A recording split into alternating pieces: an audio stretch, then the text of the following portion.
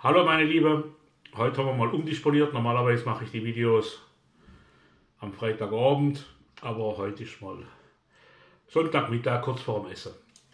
Der Grund, wir haben ein interessantes Fläschchen Wein gefunden und das Schöne an dem Video oder generell an der Idee mit den Videos ist, dass ich halt selber auch mal ausprobiere.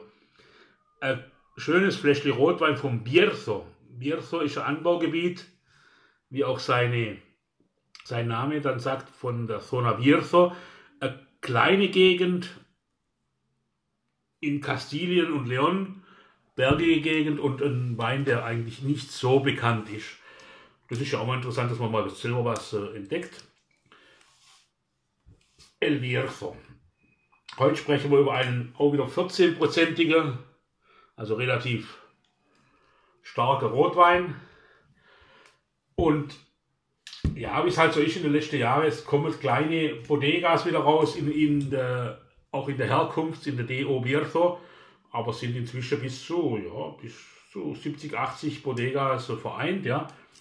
Kein äh, Vergleich zu den Tausende von Hektoliter, die da in dem Rioja und dann haben wir letzte Woche darüber gesprochen, in den Invasionsgebieten, Rioja, fast von Saragossa bis bis was der Teufel wo nah. Nein, hier sind wir ganz klar, ihre kleine Gegend, schöne Gegend, bergige Gegend in Kastilien und Leon. Und da gibt es die Bergsäureine.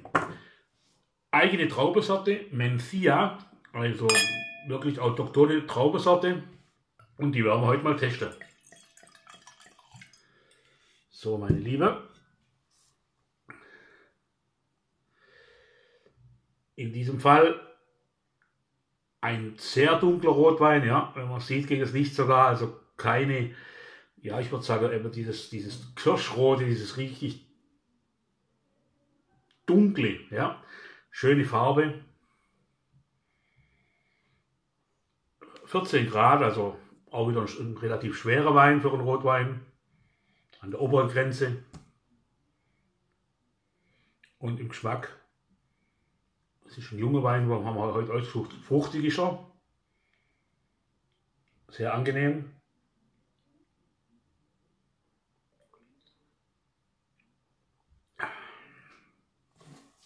In diesem Fall ist es ein fruchtiger Wein, der aber auch durch die Schwere, er hat was von, ich würde sagen, ja, so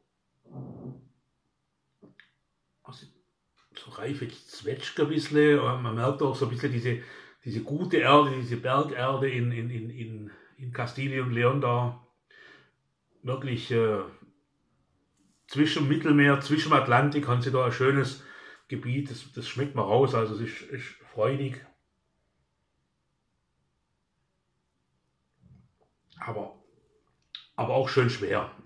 Speziell halt für für Fleisch, für, für einen schönen Brat, auch mal vielleicht fürs Wild, gerade bei, bei Bückling oder in Deutschland. Ne? Boah, toll. Aufpassen, Bierzo. In diesem Fall Entre Cepas. Entre Cepas, tolle Wein, modern präsentiert. Auf Deutsch Entre Cepas heißt eben zwischen den Reben. Und äh, ja, zwischen den Reben wünsche ich euch einen schönen Sonntag noch und merkt euch Bierzo, wenn es mal wieder einen gibt im Aldi. Probiere. Dankeschön.